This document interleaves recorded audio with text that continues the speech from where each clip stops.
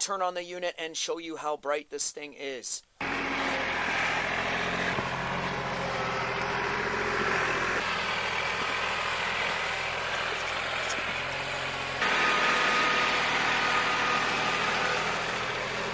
What's going on guys? Kurt here. So I want to show you guys this solar powered flashlight power bank. I'm going to talk a little bit about what it's made of, and then I'm going to show the complete build process. I have the building process sped up so you can see the complete build in not too long. Let's get right into the video.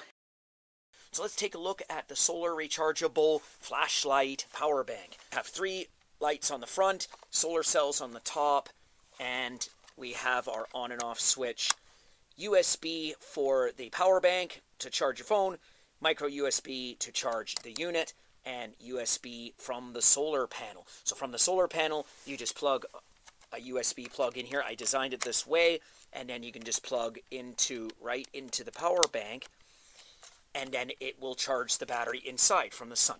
And it works. I've already tried it.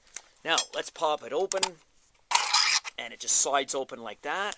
We have our 15 degree lenses. We have a 3 watt LED chip, silicone heat pad. This is a heat sink from a plasma TV. I just cut it to size. You can use little heat sinks if you want that you can buy that stick on.